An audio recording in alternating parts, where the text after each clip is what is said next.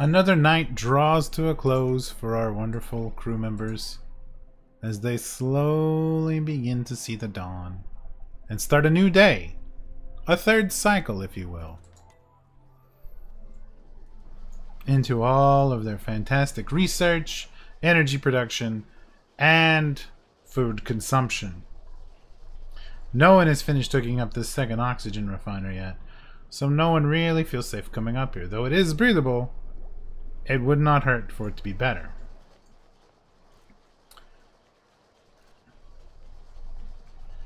It looks like Ginger may be taking up the uh, plan to do composting.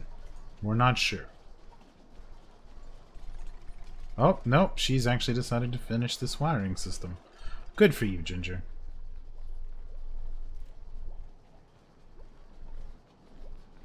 Steve, getting quite the workout, has charged all the batteries and will soon fall off the treadmill. Yep, there he goes. Good for you, Steve.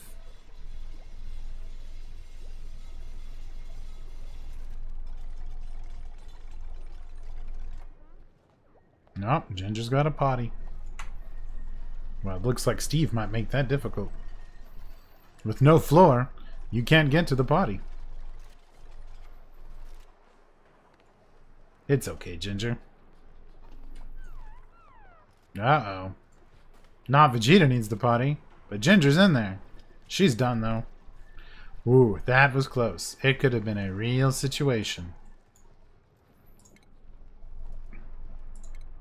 Wow, we completely forgot that we need a couple of food generation tools or these people will starve soon. Hopefully they have some seeds to plant. Everyone's used the toilet and is back at work.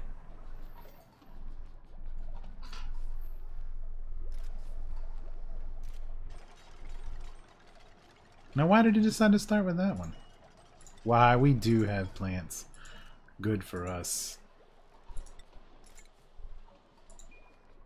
We'll have to take what we get for now, as long as it keeps the, the colonist fed and happy.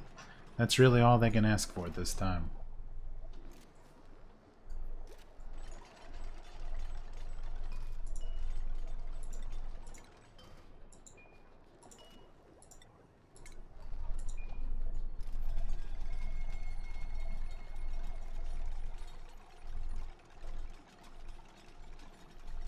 And there's our compost.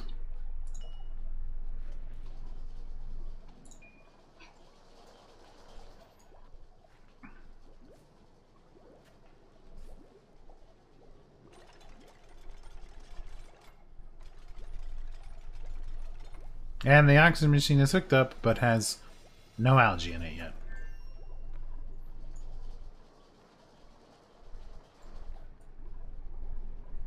Perhaps we should remind them to uh, get some algae.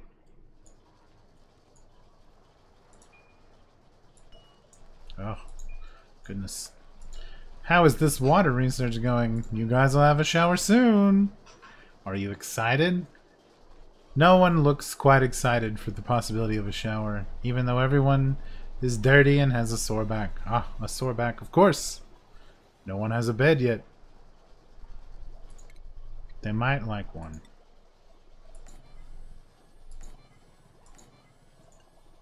Currently, there's only room for three. But we can fix that.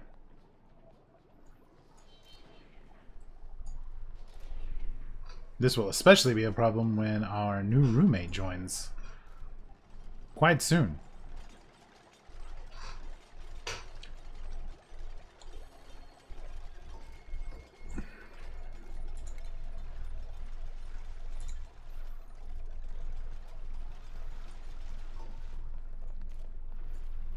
Everyone's getting better and better at their jobs and moving right along day to day.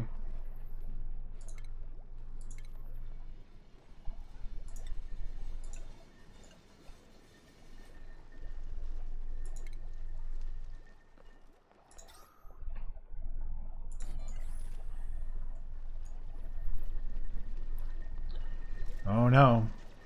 Not Vegeta has decided to begin digging near the polluted oxygen and polluted water. What will ever happen?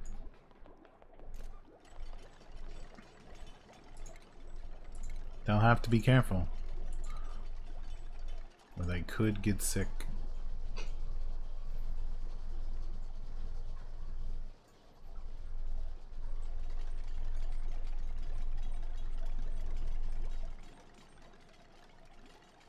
The team seems to be running low on algae. This is going to start causing oxygen issues soon if they do not find more.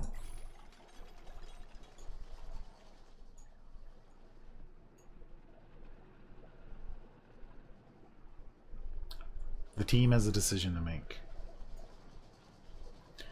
Do they continue going upwards and open up this water? Do they break into the carbon dioxide and go across? Or do they dig through this water system into more oxygen?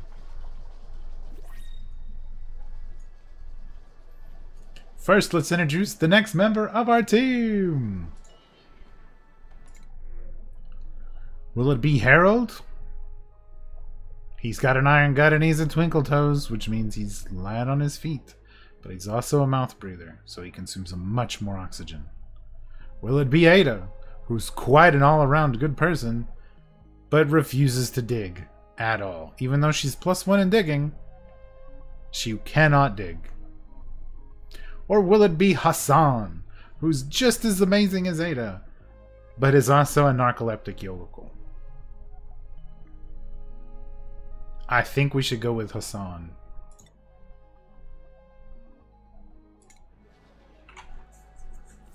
With Hassan joining the team, he's clearly the most efficient member now. Will there be new fights between the other team members?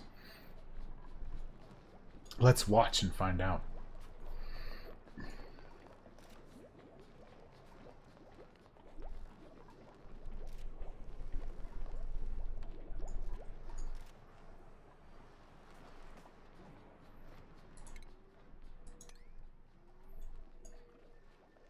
Oh, Ginger's narcolepsy's kicked in once again.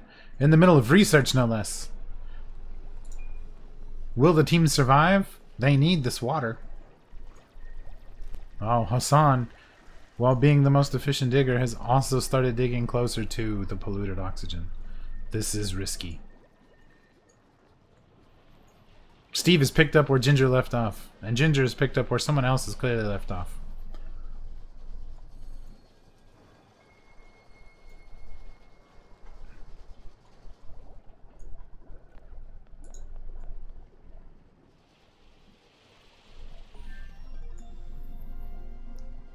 We've got water.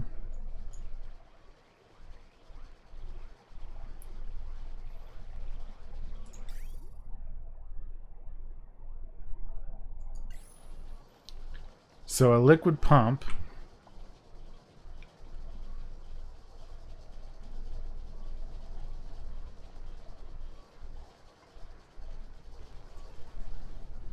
will need to be put down in that water.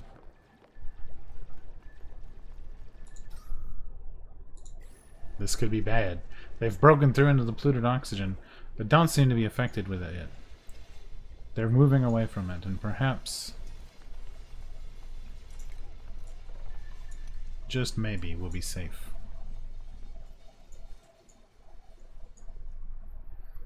Someone will need to come in and place a pump.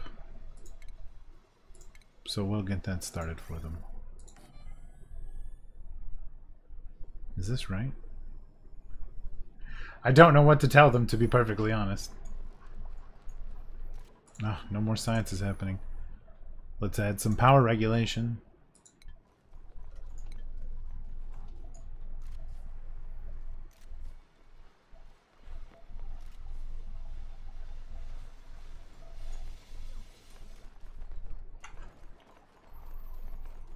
It amazes me that the colonists decide to dig and dig and dig all the time, but never seem to want to pick up after themselves until it's just absolutely time to pick up. Hassan, being the most skillful new member of the team, has already grabbed the bed for himself, leaving Steve out in the cold. Will this cause any unresolved issues between the two? We'll find out next time Maybe. Thanks for watching, and don't forget to tune in next time to Outrageous Paradise!